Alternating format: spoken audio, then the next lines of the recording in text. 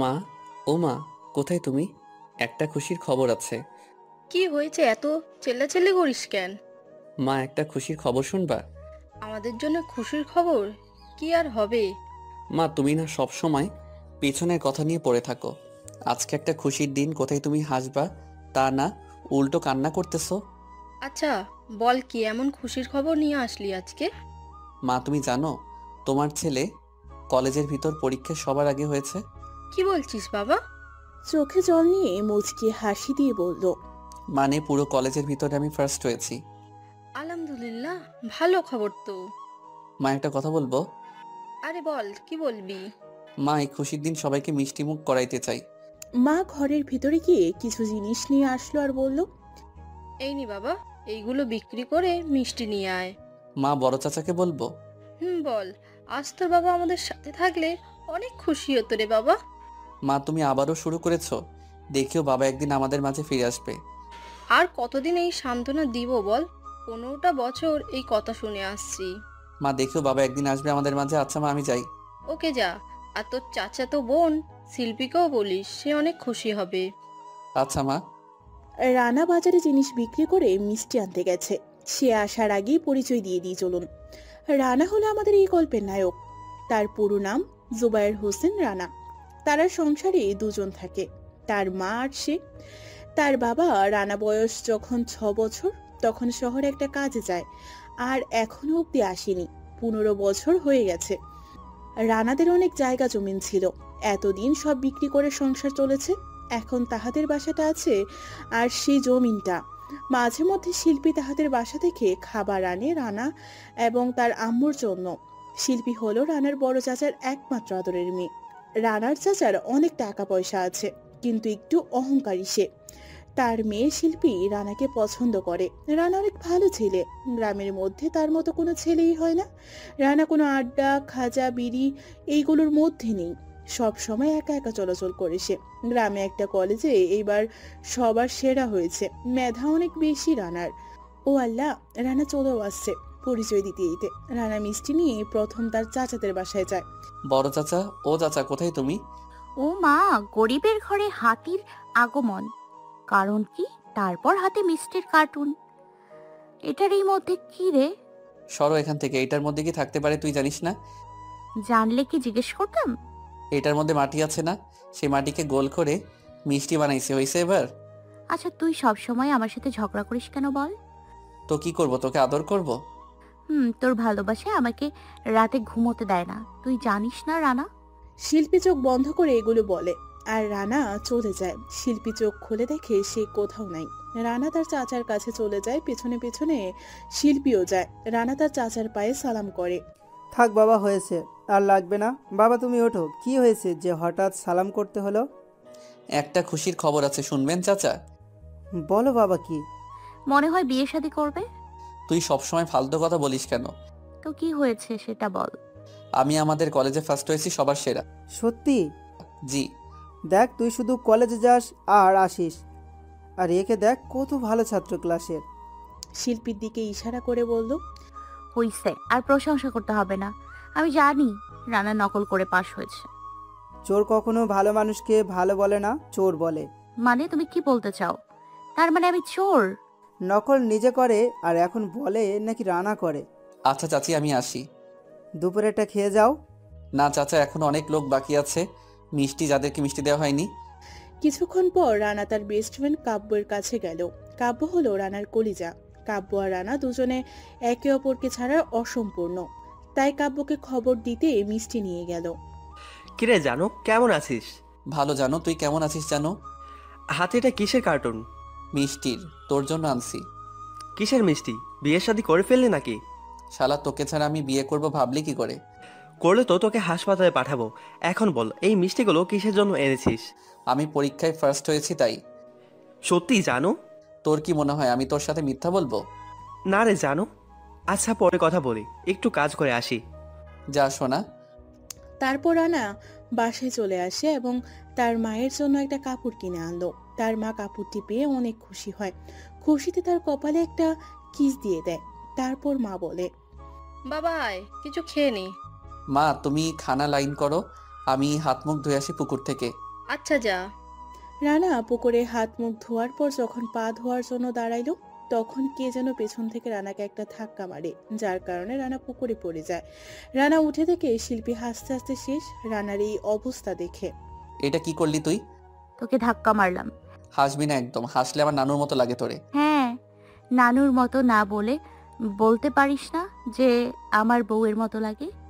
আমাকে কি পাগল পাইছে যে তোকে আমার বউয়ের মতো লাগে বলব? ঠিকই আছে তোকে পাগলই পাইছে এই জন্যই তো তুই আমাকে বউ মানিস না এত সুন্দরী একটা মেয়েকে।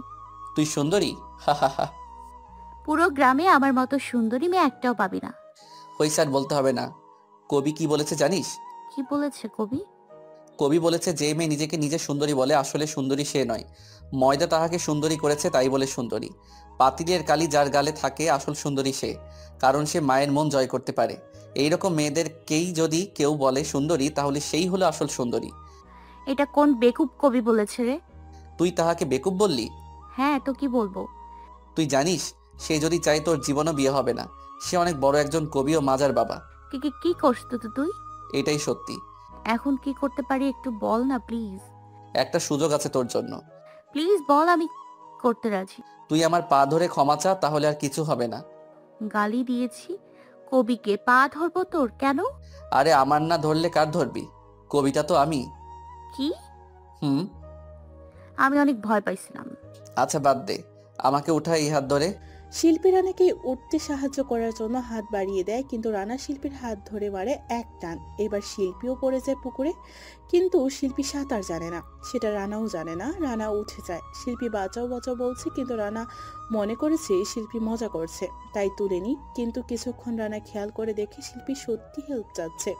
তাই সেও দেয় এক লাফ শিল্পীকে কুলে করে উপরে ওঠানো হয়, কিন্তু শিল্পী কিছুই বলছে না। অনেকক্ষণ পানিতে ভিজার কারণে অজ্ঞান হয়ে যায়। শিল্পীর বুকে অনেক চাপ দেয়, অনেক পানি তার মুখ থেকে বের হয়, চাপ দেওয়ার কিছুক্ষণ পরই শিল্পীর জ্ঞান ফিরে। কিন্তু শিল্পী ইচ্ছে করে অজ্ঞানের ভান করে শুয়ে আছে। রানার অনেক টেনশন হচ্ছে এভাবে যে যদি শিল্পীর কিছু হয়, তাহলে তার সমস্যা হবে তাই। সে আর কিছু না ভেবে বাংলা ছবির মতো শিল্পীর ঠোঁটে নিজের ঠোঁট মিলিয়ে ফু দিতে থাকে। আর এইদিকে শিল্পী তো মনে মনে মহা খুশি কারণ একের পর এক ফু দিয়েই যাচ্ছে। অনেকক্ষণ পর শিল্পী নিজের হাসি কন্ট্রোল করতে না পেরে আওয়াজ করে হেসে দেয় রানা তো লজ্জায় শেষ লজ্জার থেকে বেশি তার রাগ হচ্ছে তাই সে কিছু না বলে ঘরে চলে যায় শিল্পী পেছন থেকে ডাক দিয়ে বলে অনেক মজা লাগছিল রে। লুচ্চা কথাকার? আমি লুচ্চা না তুই লুচ্চা তুই আমাকে কিস করছিস। আমি এক্ষুনি চাচিকে বলে দিব।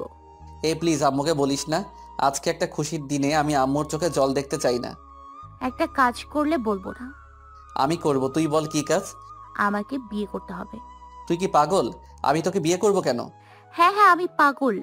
আমি তোর জন্য পাগল। সেই ছোট্টবেলা থেকে আমি তোকে ভালোবাসি। কিন্তু বলিনি আজ বলেছি। দেখ শিল্পী তুই আমার বোনের মতো। আমি তোকে বউ কীভাবে বানাই বল? আর আমি এত তাড়াতাড়ি বিয়ে করতে চাই না। আমি আরও পড়াশোনা করতে চাই। আমি এখন বিয়ে করতে বলিনি। তুই শুধু রাজি হ। না। আমি এখনই পুকুরে ঝাঁপ দিয়ে নিজের জীবন শেষ করে ফেলব। তুই জীবন শেষ করবি কেন মা? পেছন থেকে মা এসে বলল মা আমি তোমার ছেলেকে ভা আমি জানি আর আমি আমার ছেলের বউ হিসেবে তোকেই চাই কিন্তু আগে রানাকে তোদের মত হতে হবে। তারপর আমি তোর বাবার কাছে তোদের প্রস্তাব নিয়ে যাব। মা তুমি এসব কি বলছো? হুম আমি তোর বউ হিসেবে শিল্পীকে চাই। শিল্পী মায়ের পায়ে সালাম করে। আরে লাগবে না মা। আমি আসি মা। এই এখনও বিয়ে হয়নি তুই মা বলিস কেন? না হলেও তো হবে। তাই আগে থেকে শিখে রাখতে হবে না। নিয়ম চালু করতে হবে তো বুঝো না? শিল্পী মা খেয়ে যাও। না মা খাব না। জামা কাপড় চেঞ্জ করতে হবে। আচ্ছা রানা ঘরে আয়। তারপর রানা ঘরে চলে যায় জামা কাপড় চেঞ্জ করে তারপর খেতে যায় এমন সময় রানা বলে মা একটা কথা বলব? বল বাবা কি কথা? মা স্যার আমায় বলছে মাস্টার্স পর্যন্ত শহরে পড়তে। আর কত বছর লাগবে মাস্টার শেষ হতে? মা আর মাত্র পাঁচ বছর লাগবে। তাহলে তো অনেক টাকার প্রয়োজন। মা তুমি চাও না আমি বড় কিছু হই? তুই এটা কি বললি? প্রয়োজনে আমি মানুষের বাসায় কাজ করব তবুও তোকে পড়াবো। আমি তো কালকে চলে যাব শহরে। আচ্ছা পাঁচ বছরের জন্য আমাদের এই জমিটার দলিল বন্ধ রেখে কিছু টাকা নিয়ে দেই। ওকে মা আর একটা কথা মা আমি এক বছর পর পর আসব। ঠিক আছে কিন্তু প্রতিদিন তুই তোর চাচা অথবা শিল্পীর মোবাইলে কল দিয়ে ভালো মন্দ জানাবি। ঠিক আছে। আচ্ছা মা আমি ব্যাগ গুছাচ্ছি তুমি টাকার ব্যবস্থা করো। তুই ব্যাগ পরে গুচাস আগে তোর চাচার বাড়িতে বলে আয় যা। তারপর না শিল্পীদের বাসায় চলে যায়। গিয়ে প্রথম শিল্পীকে দেখে শিল্পী দৌড়ে এসে মুহূর্তে রানা মুখটা মলিন করে ফেলে। কি হয়েছে? হঠাৎ আমাকে দেখে মুখটা মলিন করলে কেন? আমি কালকে সকালে গ্রাম ছেড়ে শহরে চলে যাব। কেন? কি হয়েছে? কিছু হয়নি। চাচা কোথায়? আগে বলো কেন যাবে? চাচাকে বললে শুনতে পারবি? আমি বিরক্ত করি তাই তুমি চলে যাবে। আরে না তুই আমাকে বিরক্ত না করলে কে করবে? কি সূর্য আজকে কোন দিকে উঠল? প্রতিদিন যেই দিকে উঠে আজকেও সেই দিকে। আমি তোমাকে বিরক্ত করি তাতে তুমি খুশি? এমন সময় চাচা চলে আসলো। কি বাবা কেমন আছো? জি চাচা আলহামদুলিল্লাহ ভালো। তুমি? আমিও ভালো ভিতরে আসো। না চাচা একটা কথা বলতে এসেছি আমি। বলো কি বলবা? আমি কালকে শহরে চলে যাব। কেন কি হয়েছে? কিছু হয়নি আমি পড়াশোনা করতে যাব। কিন্তু এত টাকা কোথায় পাবে? মা বলছে আমরা যেইখানে থাকি সেইখানে জমিনটার দলিল বন্ধক রেখে টাকা নিবে। তোমার কত টাকা লাগবে? দশ হাজার টাকার মতো হলেই চলবে। ওকে টাকা আমি দিব। জমিনের দলিল বন্ধ রাখতে হবে না। ঠিক আছে চাচা। তুমি দাঁড়াও আমি টাকা নিয়ে আসছি। চাচা টাকা আনতে ভেতরে গেল তখন শিল্পী বলল তুমি আমাকে রেখে চলে যাবা? তো তোকে নিয়ে যাব নাকি? তাই বলিনি। আসবা কতদিন পর? এক বছর পর। এতদিন পর পর আসবা? হুম তো কি করব? পারলে তোর আর আঙ্কেলের মোবাইল নাম্বারটা দে। এই নাও। এই টাকার এইটা আমার। আর বাবার নাম্বারও এমন। শুধু জিরো ওয়ান সেভেন হবে। এই নাও বাবা তোমার টাকা। মন দিয়ে পড়ালেখা করিও। জি চাচা দোয়া করিয়েন আপনি। তুমি আমার ছেলের মতো। তোমাকে দয়া না করে কাকে দয়া করব। তো যাই চাচা। আব্বু আমি একটু রানা ভাইয়াদের বাসা থেকে গিয়ে আসি। যা তোকে মানা করেছে কে? তারপর রানা শিল্পীকে বাসায় দিয়ে আর টাকাগুলো তার আম্মুকে দিয়ে কাব্যর কাছে গেল। ওই শালা কই তুই? বল জানো। তুই ঢাকা যাবি কবে? আজকে যাবে কেন? কি হয়েছে? কালকে গেলে হয় না? হয়তো কিন্তু আজকে গেলে কি হবে? কালকে আমিও ঢাকা চলে যাব তাই? Oh sorry. আপনাদের তো কাব্যের পরিচয় দেওয়া হয়নি। কাব্যর কোনো ভাই বোন নেই। সে একাই। সে ঢাকায় একটা মার্কেটে কাজ করে। কেন? কি হয়েছে? আসলে আমি ঢাকা পড়ব। বাহ ভালো কথা। তো কাল কয়টা বাজে যাবি? ভাবছিলাম সকালে ফজরের পর পর রওনা দিব। ঠিক আছে তাহলে তুই বাসায় যা। আমি সকালে লঞ্চ ঘাটে তোর জন্য অপেক্ষা করব। ঠিক আছে। রানা তারপর বাসায় চলে আসে এসে শিল্পী ও তার মায়ের সাথে অনেক কথা বলে। শিল্পী রাতে তাহাদের আশাই ছিল। সকালে রানা সবার থেকে বিদায় নেয় শিল্পী অনেক কান্না করে তার আম্মু অনেক কান্না করে। রানা শিল্পীকে বলে রাতে রাতে যেন তাহাদের বাসায় এসে থাকে শিল্পীও রাজি হয়। তারপর কাব্য আর রানা ঢাকা চলে যায় গ্রাম থেকে। সন্ধ্যার সময় গিয়ে ঢাকায় ওঠে। রানার পরনে ছিল কালো একটা শার্ট আর কাব্যের পরনে ছিল লাল একটা শার্ট। এদিকে ঢাকা শহরের একটা নাম করা গুঞ্জা, কালো মাস্তান এবং তার লোকেরা একজন বড় নামকরা শিল্পপতিকে খুন করে তার রানা আর কাব্য দেখে। কাব্য রানাকে অনেক নিষেধ করে সেখানে না যেতে, কিন্তু রানা কাব্যের কথা তো শুনতে নারাজ। কাব্য দাঁড়িয়ে আছে আর রানা সেখানে যায়। গিয়ে দেখে কিছু লোক একজনকে ছুরি ধারা আঘাত করতেছে, রানা বলে। এই তোমরা কারা? এই লোকটাকে মারছো কেন? লোকগুলো রানার দিকে তাকায়, রানা সবার মুখ স্পষ্ট দেখে। তাহারা রানার দিকে এগোতে থাকে। এমন সময় পুলিশের গাড়ির আওয়াজ পায়, তখন মাস্তানগুলো পালিয়ে যায়। রানা তখন দেখে ওই লোকটি শ্বাস নিচ্ছে। তাই রানা দৌড়ে সেখানে যায় এবং তার বুক থেকে ছুরিটা বের করে ফেলে। এমন সময় পুলিশ রানাকে দেখে এবং পুলিশ মনে করেছে রানা ওই লোককে খুন করেছে। তাই পুলিশ এসে রানাকে গ্রেফতার করে তখন কাব্য দূর থেকে সব দেখতেছে। কাব্য জানে এটা ঢাকা শহর। এখানে কাব্যের সাক্ষী গ্রহণযোগ্য নয়। তাই কাব্য এগোয়নি রানা বলে। আমি খুন করিনি প্লিজ স্যার আমাকে ছেড়ে দিন। যা বলার আদালতে গিয়ে বলিস। স্যার বিশ্বাস করেন আমি খুন করিনি। আমি তো মাত্র ঢাকাতে আসলাম পড়াশোনা করতে। বলছি না যা বলার আদালতে বলতে? তারপর পুলিশরা রানাকে নিয়ে যায়। রানার কোনো কথাই তারা শুনেনি। এদিকে কাব্য পুরো পাগলের মতো হয়ে গেছে। সে তার মার্কেটে গিয়ে তার মালিককে সব খুলে বলে তার মালিক একজন উকিল ধরে রানার ব্যাপারে। এদিকে পরের দিন সকালে কাব্য রানার কাছে যায়। স্যার রানার সাথে একটু দেখা করব। এ হাবিলদার এই লোকটিকে রানার কাছে নিয়ে যাও। ইয়েস স্যার চলুন আপনি আমার সাথে। তারপর কাব্যকে নিয়ে যায় রানার কাছে। ওই যে রানা। রানা? এই রানা। তুই আসছিস দোস্ত? আমি ওই দিন তোর কাছে আসিনি কারণ তাহলে আমিও জেলে যেতাম। সেদিন তোর কথা শুনলে আজ এখানে থাকতে হতো না রে। বাদ দে ওইসব কথা। শোন আমি আমার মালিকের সাথে কথা বলেছি। সে একজন উকিল ধরেছে তোর জন্য। আজকে তোকে আদালতে নিয়ে যাবে। তখন সে তোর হয়ে লড়বে। আচ্ছা একটু বাসায় কল দে তো শিল্পীর নাম্বারে। আচ্ছা নাম্বার দে। তারপর রানা কাব্যকে নাম্বার দেয় কাব্য কল দিল। রিং হচ্ছে। তাহলে এইদিকে দে। কিছুক্ষণ রিং হওয়ার পর শিল্পী রিসিভ করে। হ্যালো কে বলছেন? আমি রানা। কেমন আছো তুমি? হুম ভালো তোমরা? হুম ভালো। কখন গিয়ে পৌঁছেছো? গতকালকে মাগরিবের পর পর। আম্মু অনেক টেনশন করছিল। তুমি পৌঁছে একটা কল দিতে পারোনি? অনেক ঘুম পাচ্ছিল তাই ঘুমিয়ে গিয়েছিলাম। ও ওই শোনো হুম বলো। ঢাকা শহরে খুব খারাপ খারাপ মানুষ আছে। সবার থেকে দূরে থাকবা। কাহারও কোনো রকম উপকার করতে যেও না তাহলে ক্ষতি হবে। আর শোনো ঠিক মতো পড়বে আর খাওয়া দাওয়া করবে। আর আমায় প্রতিদিন যখনই সময় পাও কল দিবা কেমন? হুম আচ্ছা আম্মুর কাছে কি ফোনটা দেওয়া যাবে? হুম দাঁড়াও। আমি তো এখন বাসায় আছি। আমি যাইতেছি গিয়ে কল দিব কেমন? আস্তে আস্তে যাইস? আমি বাসায় গিয়ে কল দিব। তারপর আনা কল কেটে দেয় কিছুক্ষণ পর কল দেয় শিল্পী। আম্মুর সাথে কথা বলো। দাও। কেমন আছিস বাবা? মা ভালো আছি। তুমি কেমন আছো? তোকে ছাড়া ভালো থাকি কি করে বল? খেয়েছো কিছু? না বাবা একটা কথা বলি বাবা। বলো মা। গতকালকে রাতে স্বপ্ন দেখি তোকে পুলিশ ধরে নিয়ে গেছে। তাই বাবা একটু সাবধানে চলাফেরা করিস কেমন? তুমি চিন্তা করিও না মা। তুই আমার বুকে না আসা পর্যন্ত চিন্তা থাকবেই। আচ্ছা মা রাখি। ঠিক আছে বাবা ভালো মতো পড়ালেখা করিস কেমন? তারপর কল কেটে দেয় রানা অনেক কান্না করে তার মায়ের কথা শুনে। কিছুক্ষণ পর রানাকে আদালতে উঠানো হয়েছে। রানা যে খুন করেনি তার কোনো প্রমাণ দেখাতে পারেনি। তাই জজ বলল তুমি যে বলছো তুমি খুন করনি তার কোনো সাক্ষী বা প্রমাণ আছে? রানা মাথা নিচু করে আছে সে কি করবে বুঝতে পারছে না। তোমার কিছু বলার আছে? আমাকে এক মাস সময় দিলে আমি আসল খুনিকে বের করে দিব। কিন্তু তোমাকে তো এত সুযোগ দেওয়া যাবে না। তাহলে আমার আর কোনো কথা নেই? খুনের আসামি রানাকে আদালতে বাংলাদেশের তিনশো দুই ধারা মোতাবেক পাঁচ বছর পর যদি তাহাকে ছেড়ে দেওয়া হয় তখন সে যদি আসল খুনিকে বের করে আনতে পারে তাহলে এই আদালত তাকে সম্মানজনক পুরস্কার দেওয়া হবে।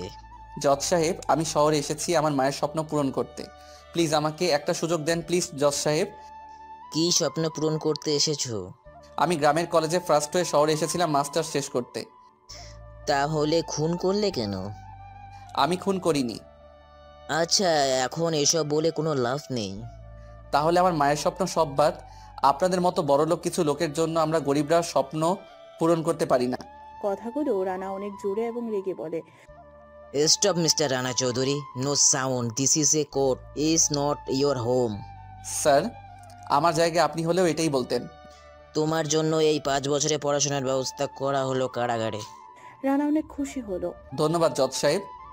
জজ সাহেব টেবিলে তিনটা বাড়ি মেরে চলে যায়। তারপর পুলিশ রানাকে জেলে নিয়ে যায় এমন সময় রানা বলে স্যার আমি কি আমার বন্ধুর সাথে একটু কথা বলতে পারি একান্ত?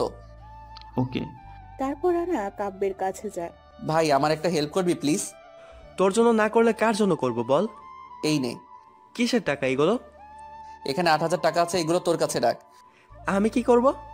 তুই প্রতিদিন আমার দেখা করবি তখন তোর মোবাইল দিয়ে আমি বাসায় কথা বলব। আর তোকে যখন তখন বই কিনতে বলব তখন এইখান থেকে টাকা দিয়ে বই কিনে আনবি কেমন? টাকাগুলো তোর কাছে রাখ আমার লাগলে আমি নিয়ে নেব। তোকে নিতে বলছি না? ওকে দে। আর একটা কথা আমার এই ব্যাপারে যেন কেউ না জানে। তুই কি পাগল? আপনার সময় শেষ আপনি আসুন আমাদের সাথে। তারপর পুলিশ রানাকে নিয়ে যায় জেলে। এইভাবে চলতে থাকে রানার দিনকাল। জেলের ভিতর রানার মাস্টার্স শেষ করে ফেলে পাঁচ বছরে পাঁচ বছর পর। আজ রানা জেল থেকে বের হয়। প্রথম দুই বছর বাসায় কথা বললে শেষ তিন বছর বাসায় কোনো যোগাযোগই রাখেনি রানা। রানা বের হয় ভাবলো বাসায় যাবে কিন্তু ভাবলো কিছু একটা চাকরি হলে বাসায় চলে যাবে। তাই শেষে কাব্যকে বলল দেখ ভাই এই অবস্থায় আমি বাসায় যাব না। এখন আমি কি করতে পারি? দেখ এখন তো আমার কোনো সার্টিফিকেট নেই কোনো সরকারি চাকরিও করতে পারব না। তুই বরং আমায় ড্রাইভিং শেখাতে পারবি? তুই ড্রাইভিং শিখবি কেন? ভাই দেখে শিখলে কাজে লাগবে। ঠিক আছে আর শোন যতদিন না তোর কোনো একটা কিছু হচ্ছে ততদিন তুই আমার সাথেই থাকবি। তোর মতো বন্ধু যেন সবার একটা করে হয়। হয়েছে আর কিছু খেয়ে নে। তারপর কাব্য রানাকে দুই মাস ড্রাইভিং শেখায়। এখন রানা ভালো করে প্রাইভেট কার চালাতে পারে তাই সে কাব্যকে বলল দেখ কাব্য তুই তো আমার জন্য অনেক কিছু করেছিস। এখন আর একটা কাজ করতে পারবি? আরে বল আমি তো তোর জন্য জীবনও দিতে প্রস্তুত। তোকে জীবন দিতে কে বলছে শালা? বল কি বলবি? আর জন্য যদি একটা ড্রাইভিং চাকরি খুঁজে দিতি? ঠিক আছে। রানা তুই থাক আমি মার্কেট থেকে গিয়ে আসি। ঠিক আছে যা। রানা শুয়ে আছে। হঠাৎ করে পাঁচ বছর আগের কথাগুলো খুব করে মনে পড়ে গেল। সে শিল্পীর সাথে দুষ্টমি আর কিস দেওয়া তার আম্মুকে আম্মু বলা তাহাকে ভালোবাসতো এইগুলো ভেবে নিজের অজান্তে চোখের কোণে পানি চলে আসে। হঠাৎ নিজেই নিজেরে বলে এখন হয়তো তার বিয়ে হয়ে গেছে আর মনে হয় তার বাচ্চাও হয়ে গেছে। আমি তাহাকে নিয়ে চিন্তা করে লাভ কি? আজ থেকে ভুলে গেলাম শিল্পী নামক কেউ একজন ছিল আমার জীবনে। অনেকক্ষণ পর ঘুমিয়ে পড়ে কিছুক্ষণ পর কাব্য এসে বলল রানা ওই রানা। হুম বলো। তুই ঘুমাস? কি বলবি বল। তোর জন্য একটা চাকরি পেয়েছি। কি বলস কিসের? এক লোকের বাড়িতে নিজের গাড়ির জন্য ড্রাইভার। ভাই তোকে অনেক ধন্যবাদ। ধন্যবাদ পরে দিস এখন চল। তোকে পছন্দ করে কিনা দেখি। হুম চল। তারপর তাহারা চৌধুরী বাড়ি চলে যায়। বাড়ির মালিকের নাম শাহিন চৌধুরী। ভেতরে ঢোকার আগে রানা বলল কাব্যকে। দোস্ত একটা কথা বলব তোকে? হুম বল। আমি যে মাস্টার শেষ করেছি সেটা বলিসনি প্লিজ? কেন? বলিস না পরে তোকে বলব। ঠিক আছে চল এখন। ভেতরে ঢুকতে চায় কিন্তু দারোয়ান যেতে দেয় না।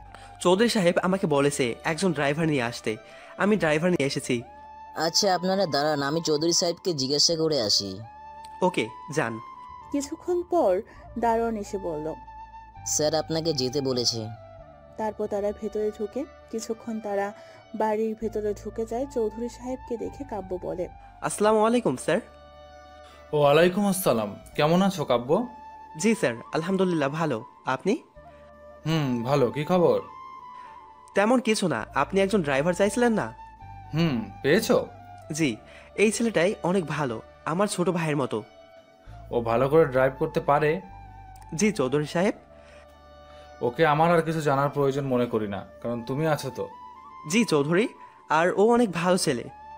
ঠিক আছে ওর ব্যাগপত্র নিয়ে আসতে বলো। আজ থেকেই জয়েন হয়ে যাক। হঠাৎ উপরে থেকে চৌধুরীর একমাত্র মেয়ে সাহেরা চৌধুরী সবাই আদর করে সেলিটাকে সবার আদরের দেখতে অনেক সুন্দর আর একটু দুষ্ট। আব্বু? বলো মা। রানা মাথা নিচু করে তাকিয়ে আছে আর কাব্য হা করে সেলির দিকে তাকিয়ে আছে। সেলি বলল আব্বু এরা কারা? ও হলো আমার পরিচিত একজন লোক আর এই মাথা নিচু করে আছে সে হলো আমাদের নতুন ড্রাইভার। ও তো মুখটা দেখা যাচ্ছে না কেন? এই ছেলে মুখটা দেখাও একটু। কি হলো মাথা উঁচু করো? আসলে ও একটু সহজ সরল একটু বেশি লাজুক। ও তাই? আচ্ছা ড্রাইভার আপনার নাম কি? মেম সাহেব আমার নাম রানা। এত সুন্দর না তোমার। জি মেম সাহেব। আচ্ছা তুমি তোমার জামা কাপড় নিয়ে আসো। চল রানা। হুম চলো। তারপর তারা বাসায় চলে যায়। গিয়ে রানার যা যা প্রয়োজন সব নিয়ে নিল এবং সে একা সেই বাসায় চলে যায় আর কাব্য মার্কেটে চলে যায়। কিছুক্ষণ পর রানা চৌধুরী বাড়ি যায়। চৌধুরী সাহেব তার বাড়ির কাজের মেয়েকে ডাক দেয়। সকিনা ওই সকিনা। জি সাহেব। ড্রাইভারকে তার রুমটা দেখিয়ে দে তো। জি সাহেব। তারপর সকিনা রানাকে রানার রুমে নিয়ে যায়। এইটা আপনার রুম। আচ্ছা ঠিক আছে আপনি যান। কিছু লাগলে বলবেন আমাকে। জি। তারপর সকিনা চলে যায় রানা রুমটা গুছিয়ে নেয় নিজের মতো করে। অনেক সুন্দর লাগে রুমটা। রানা তার বইগুলো ব্যাগের ভিতরে লুকিয়ে রাখে। তারপর সে বিশ্রাম নেয় ফ্রেশ হয়ে সকালে চৌধুরী সাহেব রানাকে বলে রানা? এই রানা। জি স্যার। গাড়িটা বের করো তো। জি স্যার। রানা গাড়িটা বের করে তারপর চৌধুরী সাহেব সেলি এবং তার আম্মু গাড়িতে ওঠে। ঘুরতে যাবে তারা। তারা কিছুটা যাওয়ার পর ট্রাফিক জ্যামে আটকে পড়ে। বিশ মিনিটের মতো থাকতে হবে মনে হচ্ছে, কিন্তু হঠাৎ রানার নজর পড়েছে তাহাদের গাড়ির পিছনে একটা অ্যাম্বুলেন্স রোগী নিয়ে দাঁড়িয়ে আছে। কিন্তু গাড়ির হর্ন আর আওয়াজ ধারা বোঝা যায় সেই রোগী খুব অসুস্থ, কিন্তু যেতে পারছে না। সেলেরও মনটা খারাপ হয়ে গেল এমন দেখে। মূলত কথা হলো সবার মনটা খারাপ কিন্তু কি করবে সবাই? সকল গাড়িওয়ালারা পেছনে তাকিয়ে আছে কিন্তু পুলিশ রাস্তা বন্ধ করে ফেলেছে তাই রানা গাড়ি থেকে নামে। কোথায় যাচ্ছ? ম্যাডাম একটু আসি। রানা কোথায় যাচ্ছে সেলিতা ফলো করতেছে শুধু সেলি নয় সকল মানুষ রান্নার দিকে তাকিয়ে আছে। এত জ্যামের মধ্যে লোকটি কেন গাড়ি থেকে নামলো? কিছুক্ষণ পর রানা অ্যাম্বুলেন্সের কাছে গিয়ে দেখে একটা বৃদ্ধ লোক মৃত্যুর সাথে লড়ছে। অবস্থা খুবই খারাপ তার। তাই রানা লোকটিকে কুলে নিল এবং দৌড়াতে শুরু করল। সবাই তো খুশিতে আত্মহরা সেলি তো এক দৃষ্টিতে তাকিয়ে আছে। কি করছে রানা? তা দেখছে। রানা অনেক কষ্টে পার করল কিন্তু কোনো গাড়ি পেল না। কিন্তু একটু সামনেই ক্লিনিক তাই সে কোলে নিয়ে দৌড়াতে লাগল। পেছনে পেছনে লোকটির আত্মীয় স্বজনরাও দৌড়াতে লাগল। রানা ক্লিনিকে ঢুকে যায়। Doctor doctor! Nurse nurse! কিছুক্ষণ পর তাকে আইসিইউতে নিয়ে গেল। রানা এক দৌড়ে গাড়ির কাছে চলে যায়। যাওয়ার সময় একটি সুন্দর মেয়ে বলল দাদাকে কোথায় রাখছে আইসিইউতে। ধন্যবাদ আপনাকে। ধন্যবাদের কিছু নেই এটা আমাদের কর্তব্য। আমি আরশি। আপনি? আমি রানা। আচ্ছা আমি চলে যাই বাই। নাম্বারটা দিয়ে যান। নাম্বারটা দিয়ে যান। সরি আমি কোনো মোবাইল চালাই না। বাসার ঠিকানাটা দিয়ে যান। অন্য এক সময় দেখা হলে কথা বলব এখন বাই। রানা আর কিছু না শুনে চলে যায় গিয়ে দেখে ট্রাফিক শেষ রানাদের গাড়িটা দাঁড়িয়ে আছে। আর কোনো গাড়ি নেই দাঁড়ানো। সরি স্যার সরি ম্যাডাম আরে সরি বলার কি আছে? আমার জন্য আপনারা অনেকক্ষণ দাঁড়িয়ে থাকতে হলো তাই। তুমি যে কাজ করলে এর জন্য সারা দিন দাঁড়িয়ে থাকলেও কোনো কিছু হতো না। সেলি শুধু রানার দিকে ড্যাব ড্যাব করে তাকিয়ে আছে। আসলে স্যার আমি কোনো মানুষের কষ্ট সহ্য করতে পারি না তাই। তুমি আজ যেই কাজ করলে এর জন্য তোমার বেতন এখন থেকে প্রতি মাসে দশ হাজার টাকা। ধন্যবাদ, স্যার। তারপর তারা সবাই একটা নদীর পাড়ে চলে যায় ঘুরতে। অনেকক্ষণ ঘুরে অনেক মজা হয়। কিন্তু সেলি নানাকে নিয়ে ভাবছে এত দয়ালু মানুষ এখনও পৃথিবীতে আছে। কিছুক্ষণ পর সবাই বাদাম কিনে রানাকেও কিছু বাদাম দেয়। সবাই এক জায়গায় আর রানা গাড়ির কাছে দাঁড়িয়ে আছে ওদের থেকে কিছুটা দূরে। স্পষ্ট দেখা যায় কিন্তু কথা শোনা যায় না। সেলি রানার দিকে তাকিয়ে তাকিয়ে বাদাম খায়। রানা একটা বাদাম মুখে দেবে এমন সময় একটা বাচ্চা দেখে মনে হচ্ছে ভিক্ষা করে। সে রানাকে এসে বলে স্যার আমাকে কিছু টাকা দেবেন? কি করবা টাকা দিয়ে? অনেক দিন হলো পেট ভরে কিছু খাই না। তোর বাবা মা নাই? জি না স্যার। আচ্ছা তুই আমাকে স্যার বলিস কেন? তুইও যেমন আমিও তেমন। স্যার দেন না কিছু টাকা। তারপর রানা পকেটে টাকা খুঁজে কিন্তু তার কাছে তো টাকা নেই মাত্র পাঁচ টাকা আছে রানার কাছে। সেলি সব দূর থেকে দেখতেছে কিছুক্ষণ পর রানা তার হাত থেকে ঘড়িটা খুলে দিয়ে বলে এই নে এটা বিক্রি করলে অনেক টাকা পাবি। না স্যার আপনার কাছে টাকা না থাকলে দেওয়া লাগবে না। তোকে এটা নিতে বলছি না নিয়ে নে। স্যার আপনি অনেক ভালো। তখন রানা ছেলেটার কপালে একটা চুমো দেয়। সেলি তো সব দেখতেছে সে তো রানার প্রেমে পড়ে গেছে। তারপর তারা সবাই গাড়িতে উঠে বাসায় চলে যায়। হঠাৎ সেলি সবার সামনে রানাকে বলে এই রানা! জি মেম সাহেব। তুমি আমাকে মেম সাহেব বলবা না? কেন মেম সাহেব? বলতে মানা করছি বলবা না। বললে সমস্যা কোথায়? রানা তুমি তোমার রুমে যাও। আচ্ছা মেম সাহেব। তারপর রানা তার রুমে চলে যায়। বাবা ওর মতো এত ভালো একটা ছেলেকে ড্রাইভার মানায় না? তো কি মানায়? তোমার অফিসে একটা চাকরি দিলে ভালো হতো। দেখ মা ও তো কোনো লেখাপড়া জানে না। আচ্ছা আব্বু বাদ দাও। এখন একটু বিশ্রাম নেই কেমন? হুম। তারপর সবাই সবার রুমে চলে যায়। এদিকে রানা রাত এগারোটার পর সে তার বইগুলো পড়ে। এদিকে সেলি শুয়ে রানার কথা ভাবতে থাকে। আজকে রানার প্রত্যেকটা কাজ জানি সেলির ভালো লাগে। তারপর সেলি রানার রুমের দিকে যায় রানাকে দেখতে কিন্তু কিছুটা যেতে না যেতে দেখে রানার রুমে আলো জ্বলে। তারপর তাড়াতাড়ি যায়। গিয়ে দেখে রানা একটা ইংলিশ গ্রামার পড়ে। অনেক মোটা বইটি সেলি তা দেখে অবাক হয়ে গেছে। সেলি কিছুই বুঝতে পারছে না। সেলি অনেকক্ষণ দাঁড়িয়ে থাকে, রানা বইটা পড়া শেষ করে তারপর বইটা ব্যাগের ভিতর লুকিয়ে রাখে। তা সেলি ফলো করে ফেলেছে। তারপর সেলি তার রুমে চলে যায়, গিয়ে ভাবতে থাকে রানা আসলে কি? কে? ভাবতে ভাবতে সকাল হয়ে যায়, কিন্তু সেলি আজ রাতে একটুও ঘুমায়নি। পরের দিন সকালে রানা উঠে গাড়ি পরিষ্কার করে এমন সময় সেলি রানার কাছে যায়। আচ্ছা রানা তোমার বাসা কোথায়? আমার বাসা তো গ্রামে। গ্রামের নাম কি? তোমার জেলা কি থানা কি? বিভাগ বরিশাল জেলা ভোলা থানা দৌলত খান গ্রাম হেলিপোর্ট। বাপ্পা ভালোই তো। জি ম্যাম। তুমি কোন ক্লাস পর্যন্ত পড়েছিলে? রানা হুট করে বলে ফেলে। মাস্টার্স। মানে? আরে মেম সাহেব আমি তো কোনো পড়ালেখা করিনি। তাহলে মাস্টার্স বললে কেন? আরে মেম সাহেব আমি বলতে চেয়েছিলাম যে আমার বয়স যখন ছয় বছর তখন আমি একটা স্কুলে গেলাম তখন একজন মাস্টার আমাকে অনেক মাইট দিল তাই চলে আসলাম। ও। জি। আচ্ছা তোমার গ্রামে কে কে আছে তোমার? শুধু মা আছে। কেন? তোমার বাবা নেই? আমার বয়স যখন ছয় বছর তখন আমার বাবা শহরে একটা কাজে আসে আর দেশে ফিরে যায়নি। ও আচ্ছা। তুমি যে ছেলেটির সাথে আমাদের বাসায় আসছো সে তোমার কি হয়? সে আমার বন্ধু ছোটবেলা থেকে সে আর আমি একসাথে বড় হয়েছি। ও আচ্ছা। তুমি কাজ করো আমি আসছি। আচ্ছা মেম সাহেব। তারপর সেলি বাসায় চলে যায়। কিছুক্ষণ পর চৌধুরী সাহেবকে নিয়ে রানা অফিসে যায়। চৌধুরী সাহেব অফিসের কাছে গিয়ে রানাকে বলে তুমি গাড়িটা নিয়ে বাসায় চলে যাও। আমি যখন বাসায় কল দিয়ে বলব তখন তুমি আসিও। জি স্যার। তারপর রানা গাড়ি নিয়ে বাসায় যেতে লাগল। আর এইদিকে সিলি রানার রুমে যায় গিয়ে প্রথমে রানার ব্যাগ থেকে সব জামা কাপড় উঠিয়ে ফেলে। সবকিছুর পেছনে দেখে অনেকগুলো বই সবগুলো বই মাস্টার্সের বই এবং সবগুলোতে রানার নাম লেখা ইংরেজিতে। তারপর একটা ডায়েরি পেল সেখানে। লেখা ছিল, সে ইন্টারওয়ে কলেজের ভেতর সবার সেরা হয়েছে এবং একা একা জেলে বসে মাস্টার্স শেষ করে সেলি সব থেকে অনেক খুশি হয়েছে, কিন্তু জেল থেকে মাস্টার্স শেষ করল এটার মানে বুঝলো না সেলি। সে সব কিছু আগের জায়গায় রেখে চলে আসে এবং তার মনে একটাই প্রশ্ন যে, সে শহরে এসে কেন জেলে মাস্টার্স শেষ করল? এইদিকে রানা জেমে আটকে যায়।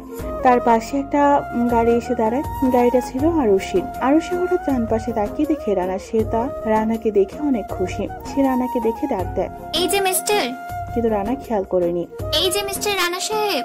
তারপর রানা তার দিকে তাকালো। রানা দেখে সেই দিনের মেয়েটা। কেমন আছেন? আলহামদুলিল্লাহ ভালো। আপনি? জি ভালো। ট্রাফিক সিগন্যাল পড়ে গেল আর মাত্র দশ সেকেন্ড বাকি আছে আরও সে এমন সময় বলল মিস্টার রানা আপনাকে আমার বাবা বলেছে দেখা করতে। কোথায় পাবো আপনার বাবাকে? তখন আরও সে একটা কাগজ ছুঁড়ে মারলো আর বলল এখানে সব লেখা আছে। আচ্ছা। তারপর রানা চলে যায় বাসায় তখন সেরি বলল আচ্ছা তোর বন্ধু কোথায় থাকে? কেন? না এমনি। মিরপুর এগারো সি ব্লক। তার নাম কি? তার নাম কাব্বু আহমেদ। আচ্ছা চলো তো একটু তার কাছে। কেন? আমার কাজ আছে আর তুমি ড্রাইভার আমি যেটা বলব সেটা করবে ওকে জি মেম সাহেব। তো চলো। তারপর না গাড়ি নিয়ে বের হয় কাব্যের কাছে চলে যায় তখন সেলি বলে তুমি গাড়িতে থাকো আমি আসছি। জি। তারপর সেলি কাব্যের কাছে যায়। আচ্ছা কাব্য ভাইয়া রানা আসলে কে? এটা কোনো প্রশ্ন হলো? মানে কাব্য কোন ক্লাসে পড়ে আর সে জেলে কেন গেল? আপনাকে এত কিছু কে বলেছে? এখন বলবেন কি না নাকি তাকে চাকরি থেকে বের করে দেবো? তারপর কাব্য সব কিছু খুলে বলে সব শুনে সেলি একটু পেছনে চলে যায়। কি বলেন এসব আপনি? হুম এটাই সত্যি। আচ্ছা রানা কি কোনো রিলেশন করে? না কিন্তু কিন্তু কি? তার চাচাতো বোনের সাথে বিয়ে ঠিক হয়েছিল। হয়নি কেন? রানা শহরে চলে আসে তাই। এটা পাঁচ বছর আগের কথা। ও। হুম হয়তো এখন তার বিয়ে হয়ে গেছে। আচ্ছা ধন্যবাদ আমাকে রানার ব্যাপারে সব বলার জন্য। আচ্ছা রানা কোথায়? গাড়িতে আছে। আচ্ছা ভাইয়া একটা অনুরোধ করব। জি বলেন। এই সব কথা রানাকে বলিয়েন না প্লিজ। এভাবে বলছেন কেন? ওকে বলব না? ঠিক আছে ভালো থাকবেন। তারপর সেলি গাড়িতে গিয়ে বসে তখন কাব্য রানাকে ডাক দেয় এবং অনেক কথা বলে। অতপর সেলি আর রানা চলে যেতে লাগল গাড়ি করে যেতে লাগল। এমন সময় সেলির কাছে তার বাবা কল দেয়। মা তুমি কোথায়? কেন বাবা? ড্রাইভারকে যদি একটু বলতে গাড়িটা নিয়ে আসতে। ড্রাইভার আমার সাথেই আছে। তোমার অফিসের নিচে আছি আসো। ওকে দাঁড়া আমি আসতেছি। হুম। কিছুক্ষণ পর চৌধুরী সাহেব গাড়িতে এসে বসে। কিছুক্ষণ পর সেলি তার বাবাকে বলল বাবা একটা কথা বলব? হুম বলো। ড্রাইভারকে একটা মোবাইল কিনে দিলে কেমন হয়? হুম আমি এটা ভাবছি। তো কিনে দাও। তারপর চৌধুরী সাহেব বলল ড্রাইভার গাড়িটা মার্কেটের দিকে নাও। জি স্যার। কিছুক্ষণ পর একটা মার্কেটের কাছে গিয়ে থামে তখন সেলি এবং তার বাবা মার্কেটে ঢুকে আর রানা বাহিরে বসে আছে।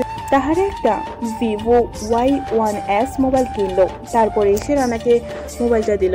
রানা নিতে চায়নি কিন্তু সেলি অনেক জোর করে দিয়েছে বলেছে না দিলে চাকরি করতে পারবে না। তারপর তারা বাসায় চলে আসে রানা একটু ঘুরতে বের হয়। হঠাৎ মনে হলো আরশির বাবার কথা। তাই সে ওই ঠিকানায় চলে যায় গিয়ে দরজায় নক করতে আরও সে এসে দরজা খোলে। তুমি আসছো তো? জি আপনার বাবা কোথায়? রুমে আছে। ওকে চলেন। তারপর আরুষি তার বাবার রুমে রানাকে নিয়ে যায়। বাবা? দেখো কে আসছে। কে রে মাউনি এই ছেলে তোমাকে সেই দিন হাসপাতালে নিল অ্যাম্বুলেন্স থেকে। ও বাবা তুমি? বসো বাবা বসো। সমস্যা নাই আঙ্কেল। আচ্ছা তোমার নাম কি? থাকো কোথায়? আমি রানা থাকি চৌধুরী বাড়ি। চৌধুরী বাড়ি কি করো? তাহাদের গাড়ির ড্রাইভার। ও তোমার বাসা কোথায়? আমার বাসা ভোলাতে। তোমার বাবা কি করে? আমার যখন পাঁচ বছর বয়স তখন সে শহরে আসে কাজ করতে কিন্তু আর বাসায় যায়নি। ও এমন সময় রানার ফোনে কল আসে সেলি কল দিয়েছে। আসসালামু আলাইকুম মেম সাহেব। ওয়ালাইকুম আসসালাম। কোথায় আছো? এক বাড়িতে আসছি। কেন? এমনি। বিশ মিনিটের মধ্যে বাসায় আসবা। জি মেম সাহেব। তারপর রানা কল কেটে দেয়। আমি আসি আজ আঙ্কেল। আজ প্রথম আমার বাড়িতে আসছো আর কিছু না খেয়ে চলে যাচ্ছ? অন্য সময় খাব। মেম সাহেব কোথায়? জানি যাইবে আমাকে তাড়াতাড়ি যেতে হবে। ঠিক আছে আবার আসিও। জি আসি আসসালামু আলাইকুম। তারপর রানা চলে আসে পিছু পিছু আরুষিও আসে। আরুষি রানাকে বলে দেখে তো মনে হয় না যে এতটা চালাক। কি করলাম আমি? কি করনি সেটা বলো। কি করেছি সেটা তো বলবেন। তোমার নাকি মোবাইল নাই তাহলে এটা কার মোবাইল? কিছুক্ষণ আগে মেম সাহেব এটা কিনে দিয়েছে। ওহ নাম্বারটা দাও। কেন? বাবার যদি কখনো তোমাকে দেখতে মন চায় কল দিব। Zero one eight. ধন্যবাদ। আমি যাই। তারপর রানা বাসায় চলে আসে। এত সময় কোথায় গিয়েছিলে? ওই যে একদিন একটা লোককে হাসপাতালে নিয়েছিলাম সেই লোককে দেখতে গেলাম। তার বাসা চিনো কীভাবে? তার মেয়ে দিয়েছে। মেয়ে দিয়েছে মানে? আরে গতকাল রাস্তায় তার সাথে দেখা হয়েছিল তখন সে দিয়েছিল। তার মেয়ে কতটুকু? লম্বায় আপনার মতো। এত বড় মেয়ের সাথে তুমি কথা বলবে কেন? সে আমায় আগে ডাকছিল। ডাকলেই কথা বলতে হবে? কথা বললে কি হয়? আমার কষ্ট হয়। আপনার কষ্ট হবে কেন? সেটা তুমি বুঝবে না। বুঝিয়ে বললে অবশ্যই বুঝব। আমার হিংসে হয়। কিন্তু কেন? আচ্ছা তুমি বলো তো যদি কেউ কাউকে ভালোবেসে তখন তাহাকে কোনো মেয়ের সাথে দেখলে তার কেমন লাগে? অনেক খারাপ লাগে কিন্তু এটার সাথে আমার উত্তরের মিল কোথায়? কারণ আমি তোমায় ভালোবাসি। হোয়াট রানা পিছু হয়ে যায় তার মাথায় যেন আকাশ ভেঙে পড়ল এই কথা শুনে। হুম রানা আমি তোমাকে ভালোবাসি। আচ্ছা আপনি কি সুস্থ আছেন? আমাকে দেখে অসুস্থ মনে হচ্ছে? মনে হচ্ছে? আমি সুস্থ এবং অনেক ভেবে চিন্তা করে বলছি আমি তোমায় ভালোবাসি। কেন আপনারা আমাদের মতো গরিবদের জীবনে এসে আমাদের সাথে এমন অভিনয় করতে আসেন একটু বলবেন প্লিজ আমি সত্যি তোমায় ভালোবাসি। আচ্ছা আপনি আমার সম্পর্কে কিছু জানেন? যতটুকু জানি তা দ্বারা বোঝা যাচ্ছে আমি তোমার কাছেই সুখে থাকব। কি জানেন? তুমি খুন না করে পাঁচ বছর জেলে ছিলা এবং সেখানে মাস্টার শেষ করেছ এবং তিন বছর হলো তুমি গ্রামে কোনো যোগাযোগ করনি। তোমার চাচাতো বোনের সাথে বিয়ে হওয়ার কথা ছিল কিন্তু এখন তার বিয়ে হয়ে গেছে। এত কিছু জানলেন কি করে?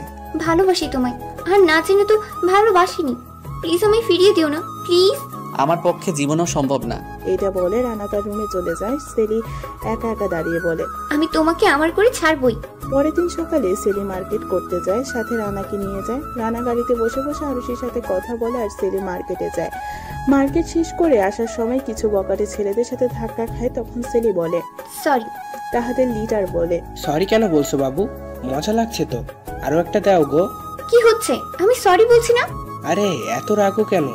রাগ করলে তোমার গাল সুন্দর দেখায়। বস তাহলে একটু মজা নেন। তুমি এতদিনে একটা আমার মনের কথা বললি।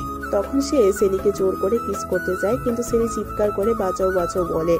রানা দূর থেকে দেখতে পেল তাই সে তাড়াতাড়ি যায় সেখানে আর গিয়েই তাহাদের লিডারকে দেয় এক লাথি। সে গিয়ে একটু দূরে পড়ে আর উঠে পড়ে দাঁড়িয়ে দাঁড়িয়ে কি দেখছিস? মার শালাকে। শুরু হয়ে যায় তামিল মুভির মতো মারপিট। অনেকক্ষণ মারামারি করে রানা সবাইকে মেরে শুয়ে রেখেছে। কিছুক্ষণ পর পুলিশ আসে রানাকে ঘেরাও করে ফেলে এবং বলে বড় পুলিশ। নিয়ে চলো এই ছেলেকে। স্যার আপনাদের কিছু কথা বলতে চাই। আসলে সব দোষ এই ছেলেগুলোর। তারপর সেলি সবকিছু বলে এবং তার বাবার পরিচয় দেয়। তখন পুলিশ ওই ছেলে ওনাকে গ্রেফতার করে যাওয়ার সময় লিডার বলে ওকে আমি নষ্ট করব দেখিস? আর এই ছেলে শুনে রাখ। আমার ভাই কালু মাস্তান তোকে ছাড়বে না। কালো মাস্তান এর নাম শুনে রানার সমস্ত রক্ত মাথায় উঠে যায়। তারপর রানা বাসায় চলে আসে তার রুমে গিয়ে একটু ঠান্ডা হয় তারপর গোসল করতে যায়। এমন সময় সেলি তার রুমে এসে সেলি আসার দুই মিনিট পর আরুষি কল দেয়। কলটা সেলি রিসিভ করে। কেমন আছেন? কথা বলেন আজকে বিকেল পাঁচটা একটু আমাদের বাসায় আসেন আমরা ঘুরতে যাব। বাই। সেলি কলটা কেটে দেয় এবং নিজে নিজে বলে পাঁচটা কেন? দশটা বাজলেও সে যাবে না। এমন সময় রানা খালি গায়ে বাথরুম থেকে বের হয়ে উম, শুধু তাওয়ালা পরে হঠাৎ তাওয়ালটা একটু খুলে আবার ভালো করে পড়বে তাই কিন্তু খোলার সাথেই সেলি সব দেখে ফেলল। সেলি চিৎকার দিয়ে উঠল। আহ! রানা দৌড়ে তার বাথরুমে চলে যায় আর দরজাটা একটু ফাঁক করে বলে আপনি এখানে কেন? আমার স্বামীর ঘরে আমি না আসলে কে আসবে? বের হন এখনই বের হন। তুমি এখানে আসো। জীবনেও আসব না। আমিও দেখব তুমি কতক্ষণ দাঁড়িয়ে থাকতে পারো। প্লিজ যান তুমি যদি না আসো তাহলে আমি এখন চিৎকার করে বলব যে তুমি আমায় রেপ করতে চাইছো। এটা কি মেয়ে নাকি দজ্জাল? কি বললাম? কিছু না কষ্ট করে আমার বিছানা থেকে প্যান্ট শার্টটা একটু দিতে পারবেন? অবশ্যই। তোমার কাজ না করলে কার কাজ করব? আগে দেন। তারপর রানা সবকিছু পরে রেডি হয়ে বের হয়। আয়নার সামনে চোরগুলো ঠিক করে পেছনে ঘুরবে এমন সময় সেলি ধাক্কা মেরে খাটে ফেলে দেয় এবং রানার বুকে উঠে বসে সেলি আমি কি দেখতে খারাপ? না তো। তাহলে আমায় ভালোবাসো না কেন? এমনি। আমার চোখের দিকে তাকিয়ে বলো তুমি আমায় ভালোবাসো না? চোখে তাকানোর কি আছে? রানা অনেক আগে থেকেই সেলিকে ভালোবাসে কিন্তু সেলি বড় লোক দেখে বলে না। ওই দেখো ওইটা কি? রানা অন্যদিকে তাকাতেই সেলি রানার গালে কিস দেয় এবং অনেকক্ষণ ধরে রাখে। এটা কি করলেন আপনি? কেন? আমার ভালোবাসার আদর দিলাম। ছি আপনি এমন কেন? কেমন? যদি কেউ দেখে ফেলতো। কেউ দেখবে না। যদি দেখে ফেলতো তাহলে কি হতো? সেটা আমার ব্যাপার। কচু সরেন। ভালোবাসো আমায়? জি না। কেন? আমি দেখতে খারাপ। তা কিন্তু কিন্তু কি? আপনার আর আমার কখনো মিল হবে না। কেন হবে না? আপনার বাবা মা এত দূরে আপনাকে বিয়ে দিব না। তোমাকে ঘর জমায় রাখব। তাছাড়া আপনি কোথায় আর আমি কোথায়? কেন? আমি আপনাকে ভালোবাসতেও পারব না কষ্ট পেতেও পারব না। এটা বলে রানা রুম থেকে বের হয়ে যায় সেলি সেলির রুমে চলে যায়। পরের দিন সকালে রানা গাড়ি নিয়ে বের হয় এমন সময় আরুষি কল দেয়। জি বলেন। বিকেলে কোথায় ছিলে? কেন বাসায়? কি করছ? কিছু না। তাহলে আমি কি বললাম? করনি কেন? কখন কি বলছেন? তুমি জানো তোমার জন্য আমি রাত আটটা পর্যন্ত অপেক্ষা করেছিলাম শাড়ি পরে? কেন আর কার জন্য? তোমার জন্য। আমি বলছি নাকি অপেক্ষা করতে? গতকালকে আমি তোমাকে কল দিয়ে বলেছিলাম না আমরা বিকেলে ঘুরতে যাব? কখন? সকালে। আমি তো ফোন রিসিভ করিনি। তাহলে কে করেছে? জানি না। ও। হুম? আজকে একটু আমাকে নিয়ে ঘুরতে যেতে পারবে? কখন? বিকেলে? চেষ্টা করব। ওকে। তারপর কল কেটে দেয়। রানা সারাদিন চৌধুরী সাহেবের সাথে ছিল। দুপুর তিনটার সময় বাসায় যায় গিয়ে ফ্রেশ হয়ে খেয়ে নেয়। তারপর নিজের রুমে যাওয়ার সময় সেলি এক কান মেরে সেলির রুমে নিয়ে যায় এবং দরজা বন্ধ করে ফেলে। কি হচ্ছে এইসব? আমার স্বামীকে আমি আদর করব? তাতে তোমার কি? এ বললেই হলো গাছে কাঁঠাল গোফে তেল? কাঁঠাল যেহেতু ধরেছ তো গোপে তেল তো লাগাতে হবেই। ছাড়ুন আমাকে কেউ দেখে ফেললে সমস্যা হবে। দেখবে না কেউ। এই বলেই সেলি রানার দুই ঠোঁট নিজের ঠোঁট দিয়ে ডুবিয়ে দেয়। অনেকক্ষণ রেখে দুজনে চোখ বন্ধ করে আছে কেউ কিছু বলছে না। কিছুক্ষণ পর তারা ফিরে আসে বাস্তব জীবনে দরজার ঝোঁকা দেওয়ার আওয়াজে। সেলির আমু দরজা ধাক্কাচ্ছে খোলার জন্য। সেলি তো ভয়ে কাঁপতে থাকে সেলির থেকে বেশি ভয়ে কাঁপছে রানা। তাহারা ভয় বেশি পায় এই জন্য যে ছোট একটা রুম তারা যে কোনো লুকানো কোনো ব্যবস্থা নেই। প্রায় দুই তিন মিনিট ধরে সেলির আমু দরজা নক করতেছে কি করবে তারা বুঝতে পারছে না। কিছুক্ষণ পর সেলি দরজা খোলে আর রানা দরজার আড়ালে লুকায় কি রে দরজা খুলতে এত সময় গেল কেন? আ- আ- আ- আস- আস- আসলে আ- আ- আম্মু আম্মু আ- আ- আমি বাথরুমে ছিলাম। কেঁপে কেঁপে কথাগুলো বলে সেলি। কি রে তুই এত কাঁপছিস কে? এমনি? সত্যি করে বল কি হয়েছে? আসলে আম্মু বাথরুমে একটা তেলাপোকা ছিল তো তাই। তাই তুই এত কাঁপছিস? আচ্ছা রুমটা এত এলোমেলো কেন? আর দরজাটা এমন কেন? এটা বলার সাথে সাথে সেলি তো মরার মতো অবস্থা রানা অজ্ঞান হওয়ার মতো অবস্থা। দরজাটা এত ময়লা কেন? এক্ষুনি পরিষ্কার করব তুমি যাও। আচ্ছা। তারপর আমু চলে যায় সেলি আর রানা তো ভয়ে শেষ রানা অনেক রেগে চলে যেতে লাগল সেলি হাতটি ধরে নেয়। ছাড়ুন। আর একটু আদর করি। আজকে রাতে ছাদে আসিয়েন অপেক্ষা করব আপনার জন্য। ঠিক আছে। এটা বলে রানা তার রুমে চলে যায়। ভয়ে কিছু ভালো লাগছে না। তাই শুয়ে পড়ল। ছোঁয়ার সাথে সাথে ঘুমের রাজ্যে চলে গেল সে। এদিকে আরও সে কল দিতেই আছে কেউ রিসিভও করে না। রাতে রানা ছাদে সেলির জন্য অপেক্ষা করে সেলি ছাদে যায়। বলো কি বলবা? আপনি কি আমাকে বাড়ি থেকে তাড়াতে চান? না তো। দেখুন আপনি যেগুলো করছেন এইগুলো অবৈধতা এইগুলো বিয়ে আগে করা মানে জীবন নষ্ট করা। একটু ভাবেন যে আপনার স্বামীর হক এইগুলো। দয়া করে আমাকে আর এইসব অবৈধ কাজে জড়িয়ে না প্লিজ। আচ্ছা ভেবে দেখব। এখন আমি যাই আমার ঘুম পাচ্ছে। আচ্ছা ভাই তারপর সেলি চলে যায় ঘুমোতে। পরের দিন সকালে সেলিকে কলেজে নিয়ে যায় রানা। সোজা যাও। ডানে তো আমার কলেজে? আমার কাজ আছে। সোজা যাও। তারপর কোথায়? বামে গেলে একটা কাজী অফিস আছে সেখানে চলো। কাজী অফিসে কি? তোমাকে এখন বিয়ে করব আমি। রানা গাড়ি দাঁড় করিয়ে ফেলে। কি বলেন এসব আপনি? হুম ঠিকই বলছি। তোমাকে বিয়ে করার পর মেলামেশা করলে তো আর অবৈধ হবে না। আপনি ভেবে বলছেন? হুম অনেক চিন্তা করে বলেছি। দেখুন আপনি এটা আবেগে বলেন যখন আমার থেকে ভালো কাউকে পাবেন তখন আমাকে ছেড়ে দিবেন। যাব না ছেড়ে। তারপরও আমি বিয়ে করব না। তুমি আমার চোখের দিকে তাকিয়ে বলো তুমি আমায় ভালোবাসো না? ভালোবাসি কিন্তু কোনো কিন্তু নেই ভালোবাসলেই হবে। এখন চলো। তারপর তারা কাজী অফিসে চলে যায় বিয়ে করে ফেলে দুজনে সাইন দিয়ে দেয়। বলুন কবুল। কবুল কবুল কবুল। আপনিও বলেন কবুল। কবুল কবুল কবুল। আলহামদুলিল্লাহ। তারপর তাহাদের বিয়ের কাজ সম্পূর্ণ হয়ে যায় তারা বাসায় চলে আসে। রাতে ছাদে আসিও কেমন? জি ঠিক আছে। তারপর যে যার মতো চলাফেরা করতে থাকে।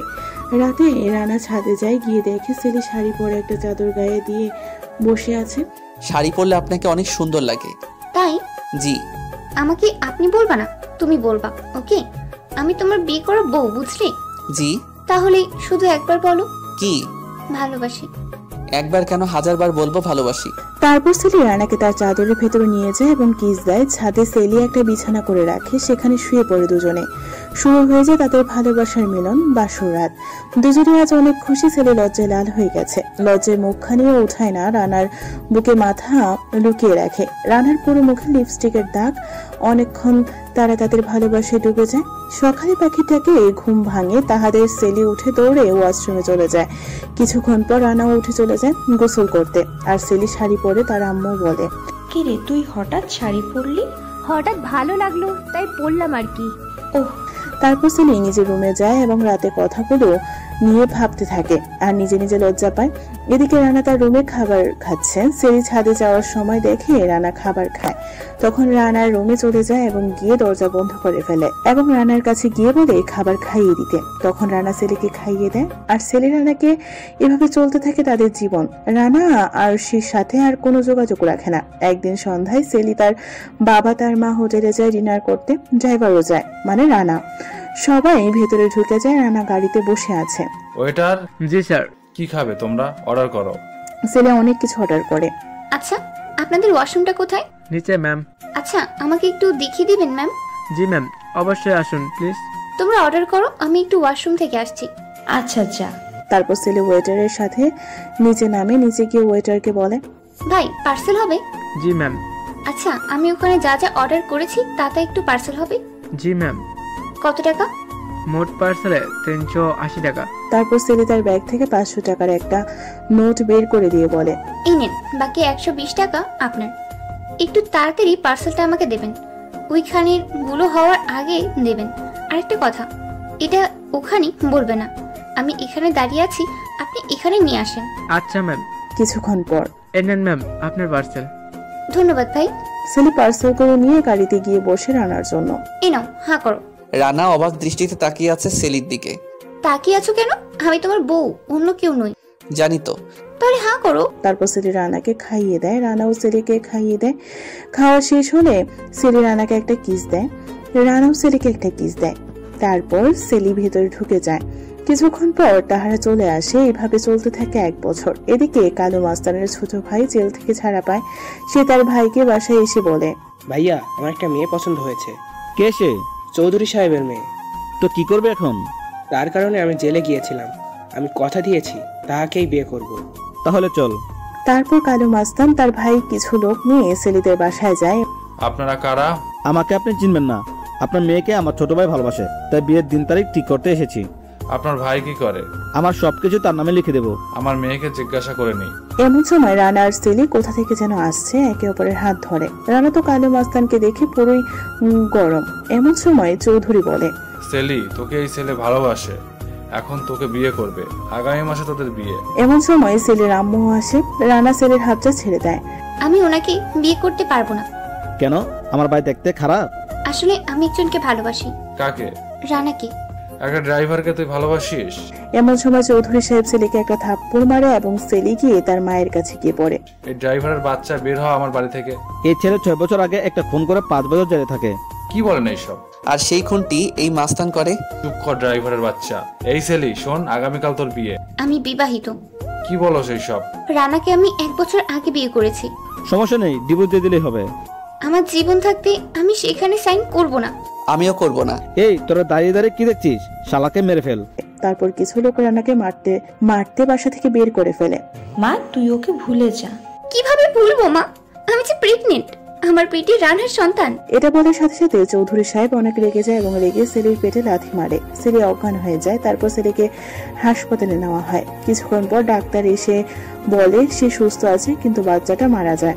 এটা শুনে সবাই খুশি হয়। আর এইদিকে রানাকে অনেক মারে। অনেক মারার পর ডিভোর্স পেপারে রানার হাতের সাইন নেয়, কিন্তু রানার অবস্থা মরার মতো। রানা কিছুই বলতে পারে না। তারপর রানাকে নদীতে ফেলে দেওয়া হয়। আর কাব্য কিছু শুনতে পায়নি। এইদিকে পাঁচ দিন পর ছেলেকে বাসায় আনে। সে তো কান্না করতে করতে শেষ। তাহাকে বলা হয়েছে, রানাকে মেরে ফেলা হয়েছে।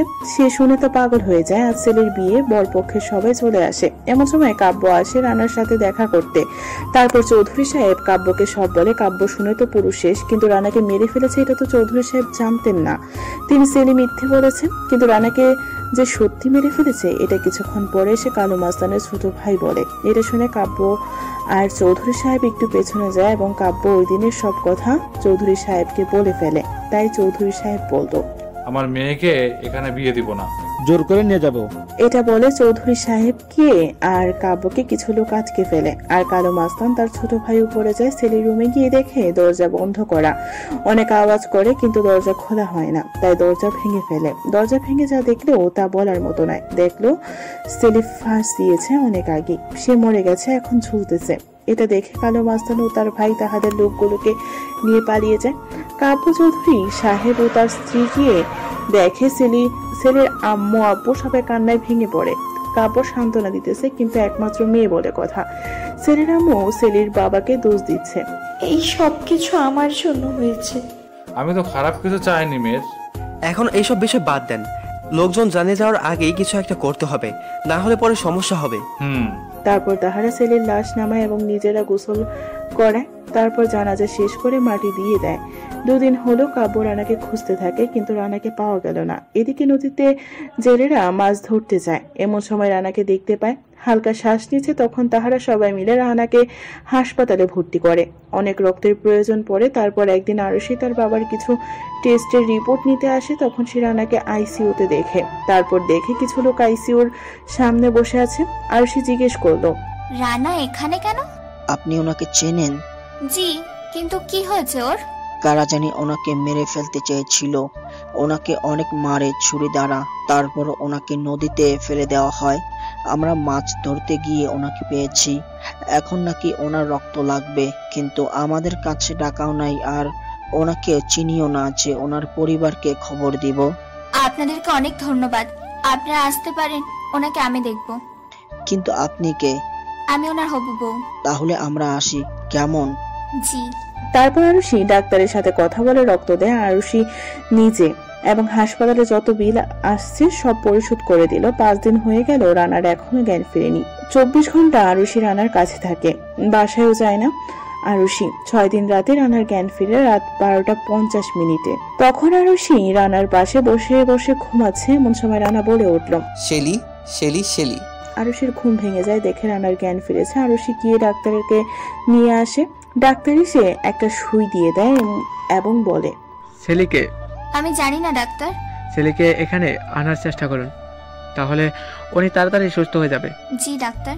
তারপর আরও সেই চিন্তায় পড়ে যায় কে এই শেলি কোথায় পাবো তাকে?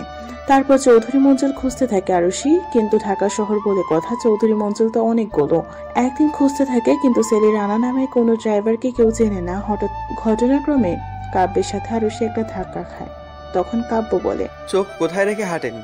ভাই চোখ চোখের জায়গায় আছে কিন্তু মনটা মনের জায়গায় নেই। কেন? কি হলো আপনার? আপনাকে বলে আমার কি হবে? বলেন হয়তো মনটা একটু ভালো হবে। আমি চৌধুরী মঞ্জিল খুঁজতেছি। কেন? আর কোন চৌধুরী মঞ্জিল? তারপর আর সেই সব খুলে বলে শোনার সাথে সাথে কাব্য যেন নতুন জীবন ফিরে পেয়েছে। সত্যি? রানা বেঁচে আছে? আপনি রানাকে চিনেন নাকি? রানাকে আমি গত আট দিন ধরে খুঁজতে খুঁজতে পাগল হয়ে গেছি। কেন? রানা আপনার কি হয়? আমি আর রানা বন্ধু ভাইয়ের মতো। আমরা একই সাথে ঢাকায় আসছি। তাহলে আপনি নিশ্চয় জানেন যে শেলিকে হুম জানি। শেলি কি হয় রানার? বউ? আরুষির কথাটা শুনে যেন সে নিজের মধ্যেই নেই হারিয়ে গেছে অজানা এক দেশে। সে বিবাহিত? তার বউ প্রেগনেন্ট ছিল। ছিল মানে? এখন কোথায়? সে আর দুনিয়াতে নেই। মানে? সে আত্মহত্যা করেছে। কি বলেন আপনি? এইসব আমি কিছুই বুঝতেছি না। তারপর কাব্য সব খুলে বলে সব শুনে আরুষি কেঁদে দেয়। একটা মানুষের জীবনে এত দুঃখ? হুম রানা এখন কোন হাসপাতালে? ঢাকা ধানমন্ডিতে আছে। তাহলে চলেন। তারপর তারা রানার কাছে যায় তাহারা যাওয়ার দশ মিনিট পর রানার জ্ঞান ফিরে। রানা তো কাব্যকে দেখে জড়িয়ে ধরে কেঁদে দেয়। কাব্যও কেঁদে দেয়। তারপর রানা বলে শেলি কোথায়? আছে। আমাকে দেখতে আসেনি? খবর দেয়নি বিয়ে হয়েছে? না। সত্যি? হুম আমি শেলিদের বাসায় যাই তোরা থাক। এই তুমি তো অসুস্থ পড়ে যাবে। না আমি আমার শেলিকে দেখে আসব আগে। ওর বাসায় নেই। কোথায় গেছে? অনেক দূরে বেড়াতে গিয়েছে। কোন জায়গায়? কবরস্থানে। কাব্য কি বলস বুঝিয়ে বল। তারপর কাব্য রানাকে সব বলে শুনে রানা তো আর নিজের মধ্যে নেই কান্না করতে করতে শেষ। পাশ থেকে একটা কেচি হাতে নিয়ে বলে নিজেকে আমি আর রাখব না আমি আমার বউ বাচ্চার কাছে চলে যাব। মরে গেলে কোনো কিছু হবে না। তাহলে তোর মতো হাজারো মানুষ নষ্ট হয়ে যাবে। কি বলতে চাস? তোকে যারা জেলে পাঠাইছে তারাই তোর জীবনের সব কিছু কেড়ে নিয়েছে। এদেরকে একটা শিক্ষা দে তাহলে তোর বাচ্চা এবং তোর স্ত্রী শান্তি পাবে। তারপর রানা কেচিটাকে হাত থেকে ছুঁড়ে মারে।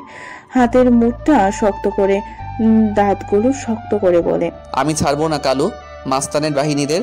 কালু মাস্তানকে চিনো তুমি? চিনি মানে ও আমার জীবনটা নষ্ট করে ফেলছে। ও শুধু তোমার নয় তোমার মতো হাজারো মানুষের জীবন নষ্ট করেছে। হুম? ছয় বছর আগেও আমার চাচাকে হত্যা করেছে। তোমার চাচার নাম কি ছিল? সবাই খান সাহেব নামে চিনতো। তারপর রানা বলল তোমার চাচার জন্য আমি পাঁচ বছর জেলে ছিলাম। কেন?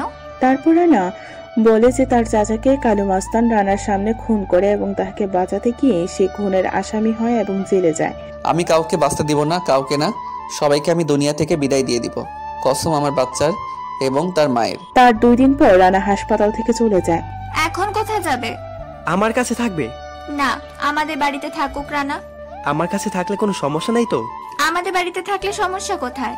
চুপ করো তোমরা। আমি এখন এক জায়গায় যাব পারলে আরশি আমাকে একটা গাড়ি ব্যবস্থা করে দাও। ওকে দাঁড়াও আমি দিচ্ছি। তারপর আরুষি তার বাবার কাছে কল দিয়ে বলে একটা গাড়ি রানাকে কিছুদিনের জন্য দিতে। তারপর আরুষির বাবা একটা গাড়ি পাঠিয়ে দেয়। তারপর রানা বলে আমাকে তুমি কিছু হেল্প করতে হবে? হুম বলো কি করতে হবে? আমাকে কিছু টাকা দিতে হবে। কত লাগবে? এই তো এক লক্ষ হলেও চলবে। এত টাকা তুই কি করবি? এখন তুই আমাকে কোনো প্রশ্ন করিস না। ওকে আমি দিতেছি। আমি কিন্তু পরে পরিশোধ করে দিব।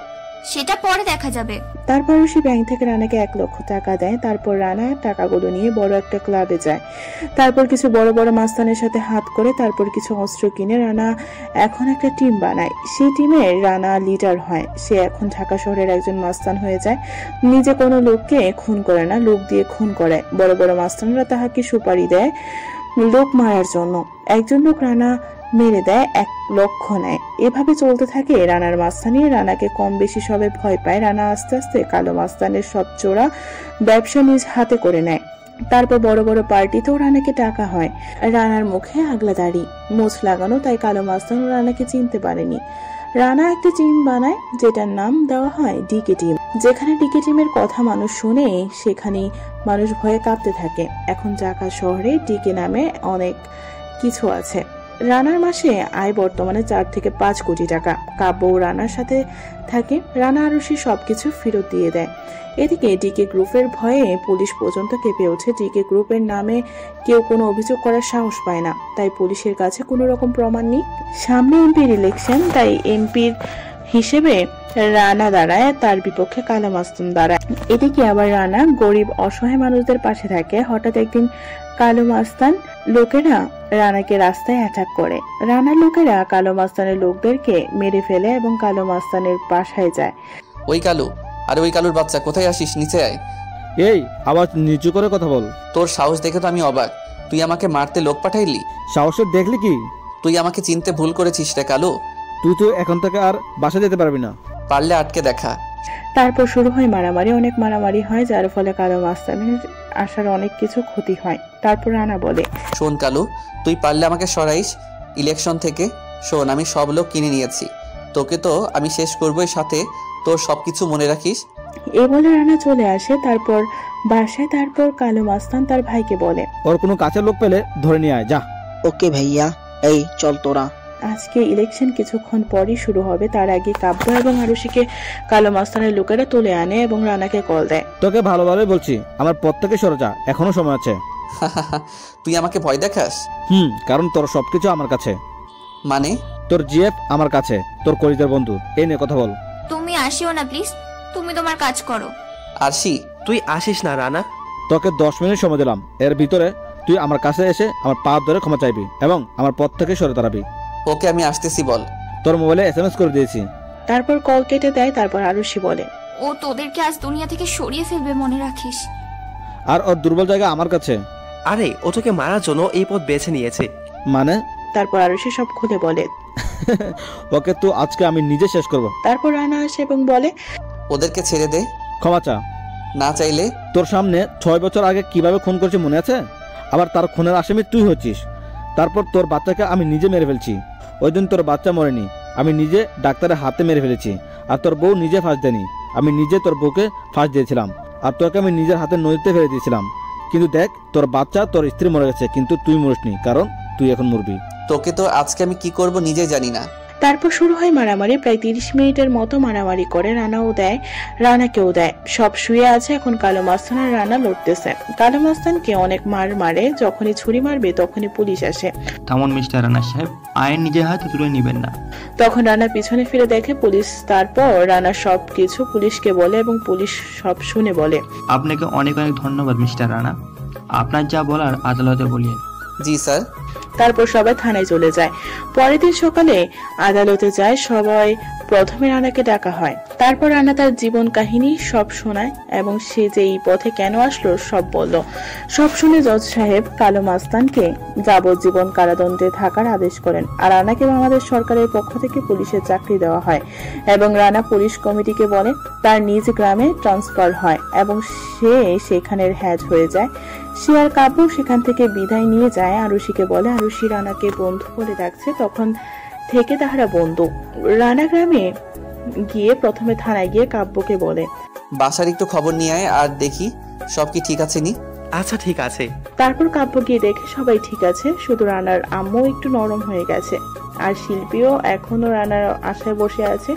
সবই আগের মতো আছে। সত্যি? হুম। শিল্পীর কয়টা বাচ্চা রে?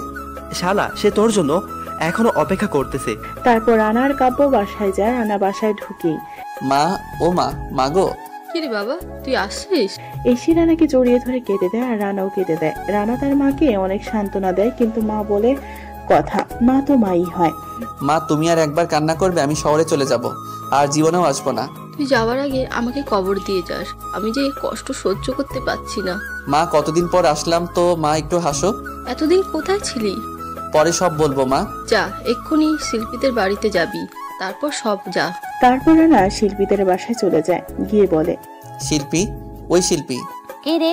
আমার নাম ধরে ডাকছে? শিল্পী নিচে এসে দেখে রানা। রানাকে দেখে অনেক খুশি হয় কিন্তু তার রানাকে বুঝতে দেয়নি মুখটা মলিন করে বলল কে আপনি আর আমারই বা নাম ধরে ডাকছেন কেন? আমি রানা। কোন রানা আর এখানে কি? আমি আমার চাচার সাথে দেখা করতে এসেছি। আব্বু আব্বু। বল কি হয়েছে? কে যেন তোমার সাথে দেখা করতে এসছে। এই বলে শিল্পী চলে যায়। এটা দেখে রানার খুব খারাপ লাগে যে শিল্পী কেন এমন করল।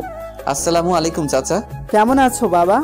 আর কোথায় ছিল এত বছর? আর কখন আসলে? ভালো আছি। আর একটু আগেই আসলাম। কোথায় ছিল এত বছর? পরে সব বলব। শিল্পী এখানে আমাদের চা দেয়? না চাচা পরে খাব। এই বলে রানা চলে আসে বাসায়। কিছুক্ষণ পর শিল্পীও আসে। রানার আম্মু রানা শিল্পী বসে আছে। এমন সময় শিল্পী বলল মা মানুষ এত স্বার্থপর কীভাবে হয়? বুঝলাম না রে মা। তোমার নবাবপোলা এত বছর তোমার কোনো খোঁজ নিয়েছে যে তুমি মরে গেছো নাকি বেঁচে আছো? রানা নিচের দিকে তাকিয়ে খাবার খাচ্ছে। সব কথা বাদ দে। আগামীকালকেই তোর আর রানার বিয়ে দেব। শিল্পী লজ্জায় মুখ নিচু করে আছে। কিছু বলবে তখনই রানা বলে আমি বিয়ে করতে পারব না। কেন? মুহূর্তে শিল্পীর চোখ দিয়ে পানি পড়ে যায়। মা ওর বিয়ে তো আমার সাথে ঠিক করনি করেছ তোমার ছেলের সাথে। আমার ছেলে আর তোর ভিতরে পার্থক্য কি? তোমার আগে সেই সহজ সরল ছেলে আমি নেই। তো কি হয়েছে? আমি বিয়ে করে ফেলেছি। কি বলছিস এসব তুই? হুম এটাই সত্যি এবং সেই ঘরে একটা বাচ্চাও হয়। শিল্পী আর বসে থাকতে পারছে না তাই চলে যেতে লাগল। এমন সময় মা হাত ধরে বসিয়ে বলল তুই বস এখানে। না মা আমার কাজ আছে বাসায়। বসে বলছি বস। এই তোর কি হয়েছে? একটু খুলে বল তো। বললে তুমি আমাকে ছেলে হিসেবে মানবে না আর শিল্পীও আমাকে বিয়ে তো দূরের কথা আমাকে দেখতেও পারবে না। বল কি হয়েছে? তারপর রানা সবকিছু খুলে বলে কথাগুলো শুনে সবাই কান্নার মতো অবস্থা। শিল্পী একটু খুশিও হয় যে এখন তার বউ নেই। এটা তো একটা অ্যাক্সিডেন্ট মা তারপরও সবাই চাই সবার জীবন সঙ্গীটা যেন শুধু তার হয়। আমি তো শিল্পীর সেই চাওয়াটা পূরণ করতে পারব না। আমি রাজি তোমাকে বিয়ে করতে। কিন্তু তোমার বাবা? পেছনের অতীত সব ভুলে যাও। এখন তুমি একজন পুলিশ। এটাই অনেক কিছু। বাবা রাজি হবে। সত্যি তুমি আমাকে আগের চোখে দেখবে? ওকে আমি তোর বাবার সাথে কথা বলে নেই। তারপরে দিন রানার আম্মু শিল্পীদের বাসায় যায় এবং বিয়ের প্রস্তাব দেয় আর শিল্পীর বাবাও রাজি হয়। কারণ রানা একজন পুলিশ তাই তাহাদের বিয়েটা হয়ে যায় বাসুর রাত আজ। রানা শিল্পীদের বাসায় গিয়ে বসে আজ তাহাকে অনেক মেহমানদারি করানো হয়। আর এদিকে শিল্পীর বান্ধবীরা শিল্পীকে বাসুর ঘরে নিয়ে গেল এবং তাহাকে অনেক সুন্দর করে সাজিয়ে দিল বান্ধবীরা। রাত এগারোটা বাজে এখনও রানাকে ভেতরে ঢুকতে দিতেছে না। রানার তো মেজাজ গরম হয়ে গেল সে বসে বসে মোবাইল ফেসবুক চালাইতেছে। কিছুক্ষণ পর তাহাকে বাসুর ঘরে ঢুকানো হলো। সে তো রেগে মেগে আগুন হয়ে গেল রুমে গিয়ে পাঞ্জাবি খুলে একটা বালিশ নিয়ে শুয়ে পড়ে। এটা দেখি শিল্পীর অনেকটা মন খারাপ হয়ে যায়। কি হলো তুমি শুয়ে গেলে যে? রানা মাথাটা একটু ঘুরিয়ে বলল তো কি করব? কি হলো এত রাগ করছ কেন? তো কি করব নাচবো? নাচতে মন চাইলে নাচো সাথে আমিও আছি। দেখো ফাইজলামি করিস না মাথা গরম আছে। কি হয়েছে সেটা বলবি তো? আচ্ছা এখন কয়টা বাজে একটু বলতো কেন? এগারোটা দশ বাজে। এত রাতে মানুষ বাসর ঘরে আসে? তো মানা করছে কে তোমায়? তোর বজ্জাত বান্ধবীরা? ঠিকই তো করেছে। কি ঠিক করেছে? আগে ডাকলেই আপনি তার বান্ধবীকে সুস্থ রাখতেন। মানে? মানে আপনারা ছেলেরা যে লুচ্চা যত আগে আসবে বউকে তত বেশি কষ্ট দেবে। কি আমরা লুচ্চা? তা নয় তো কি? আমাকে কোন দিক থেকে তোর লুচ্চা মনে হয়? লুচ্চা না হলে এত রাগ করতেন না বাসর ঘরে আগে আসার জন্য। আগে আসলে কি হয়তো আপনি আগে এসে চুপ করে বসে থাকতেন মনে হয়? বাসর ঘর কি চুপ করে বসে থাকার জন্য দেওয়া হয়? এজন্যই তো বলি যত দেরিতে আসবেন তত ভালো হবে আমার জন্য। হয়েছে বাদ দে তোর লুচ্চা কথা। আমি তোমার বিয়ে করা বউ তুমি বলবা তুই না। হ্যাঁ বললেই হলো। আমি তোকে তুই ছাড়া বলতে পারব না। আমাকে তুমি না বললে কিন্তু আমি কান্না করে দিব। পারবি তো এটা করতে আর কি পারবি বল? আরও কত কিছু পারব কিন্তু সময় হলে করব। হয়েছে তোকে আমি তুই বলব বুঝলি? তারপর শিল্পী সত্যি সত্যি কান্না করে দেয়। শিল্পীর কান্না দেখে রানা শিল্পীর উম, দুটো নিজের ঠোঁট ডুবিয়ে দেয়। শিল্পী চোখ দুটো বন্ধ করে রানার সাথে তাল মিলায়। তারপর রানা শিল্পীকে শুইয়ে দেয় তার উপরে রানা উঠে যায়। তাহারা চলে যায় এক অজানা শহরে। বিশ থেকে তিরিশ মিনিট পর দুজনে উঠে বসে শিল্পী লজ্জায় মাথা তুলতে পারছে না। কি খুশি? ওরে বাবা লজ্জাও পাই বুঝি। আচ্ছা একটা কথা জিজ্ঞেস করব? হুম বলো। আমার না জীবনের একটা স্বপ্ন যে বাসর ঘরে স্বামীকে এমন একটা প্রশ্ন করব আর সে উত্তরটা দেবে। প্রশ্নটা কি বলবা তো? আপনি আপনার বউকে কি রকম ভালোবাসবেন একটু বলবেন? আর রানা শিল্পের কোলে মাথাটা নিয়ে বলতে লাগল তার অনুভূতিগুলো। আমার পাগড়িটাকে নিয়ে আমার অনেক স্বপ্ন আছে। মাঝে মাঝে নাস্তাটা আমি বানাবো কিন্তু প্রতিদিন না। রাত জেগে দুজনে মিলে টিভি দেখব। রাতে জড়িয়ে ধরে ঘুমাবো। কিছু বলতে পারবে না। ক্লান্ত হয়ে গেলে আমার ঘাড়ে মাথা রেখে রেস্ট নিবে। অসুস্থ হলে আমি খাওয়াই দিব তাহাকে। শুধু অসুস্থ না অন্য সময়ও খাওয়াই দিব তাহাকে। গোসল কিন্তু দুজনে একসাথে করব। ভালোটা বেশি আমিই বাসবো মাঝে মাঝে সারা রাত দুজনে গল্প করে কাটিয়ে দিব। রাতে জড়িয়ে না ধরলে ঘুমাবো না। বউকেও ঘুমাতে দিব না, দরজা খুলতে দেরি হলে রাতে আদর করতে দেরি করব। একটা চাইলে দুটা দিব, যেমন বাচ্চা, কিস ইত্যাদি। আমি তাহাকে রাজকুমারীর মতো রাখব। সে বাপের বাড়ি যেতে চাইলে অভিমান করব, কারণ তাহাকে ছাড়া যে থাকতে পারব না, রান্না খারাপ হলে চুপ করে খেয়ে নিব, তাহাকে বুঝতে দিব না। রাগ করে দাঁড়িয়ে থাকলে পিছন থেকে জড়িয়ে ধরবো, যতক্ষণ রাগ না কমে। প্রতি মাসে একবার করে বাহিরে ঘুরতে নিয়ে যাব, প্রতিদিন তিন বেলা করে কপালে কিস করব। প্রতিদিন তিন বেলা তিনবার করে আই লাভ ইউ বলব, প্রতিদিন সকালে ঘুম থেকে উঠে দশ মিনিট জড়িয়ে ধরে বসে থাকব, প্রতিদিন তিনবার করে তাজা গোলাপ নিয়ে সামনে হাঁটু গেড়ে প্রপোজ করব। প্রতিদিন আমাকে নামাজের জন্য তাগিদ দিবে, প্রতিদিন ফজরের সময় আমাকে জাগিয়ে দিবে, প্রতিদিন বাসায় আসার সময় ফুচকা নিয়ে আসব, আমার দিকে অন্য মেয়ে তাকালে তাহাকে হুমকি দিবে, আমি কোনো অন্যায় করলে শাসন করবে, মাঝে মাঝে দুজন বৃষ্টিতে ভিজবো একসাথে মাঝে মাঝে দুজনে একসাথে জ্যোৎস্না দেখব। মাঝে মাঝে দুজনে এক হেডফোন দিয়ে গান শুনব। মাঝে মাঝে বাইকে চড়াবো। মাঝে মাঝে দুজনে বাসায় বসে লুডু খেলব। মাঝে মাঝে তার কোলে মাথা রেখে ঘুমিয়ে যাব। মাঝে মাঝে তার চুলের ঘ্রাণ নিব। আমার বাবা মাকে আমার থেকেও বেশি ভালোবাসতে হবে। আমার বাবা মাকে নিজের বাবা মায়ের স্থানে জায়গা দিতে হবে। সবকিছু আমার সাথে শেয়ার করতে হবে। অপরিচিত কাহারও সাথে কথা বলার আগে আমার অনুমতি নিতে হবে। কেউ কিছু বললে চুপ করে থাকবে। আমি বাসায় আসলে আমাকে বলবে। মাঝে মাঝে আমি গল্প লিখে তাহাকে উপহার দিব। মাঝে মাঝে তাহাকে রোমান্টিক প্রেমের ছন্দ শোনাবো। জ্বর হলে কোলের ভিতর রাখব। বউয়ের জন্য অবিরাম ভালোবাসা। কথাগুলো শুনে শিল্পী হারিয়ে যায় অজানা শহরে। রানার কথাগুলো তার মন কেড়ে নিল। একটা মেয়ে তার স্বামীর কাছে এর থেকে বেশি আর কি চায়? শিল্পী খুশিতে রানাকে জড়িয়ে ধরে আর এইভাবেই তাদের ভালোবাসার সংসার চলতে থাকে।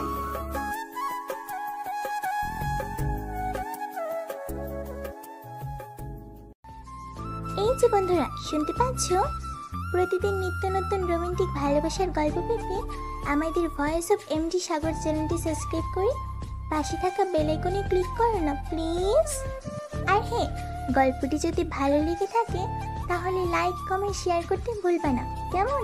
ধন্যবাদ।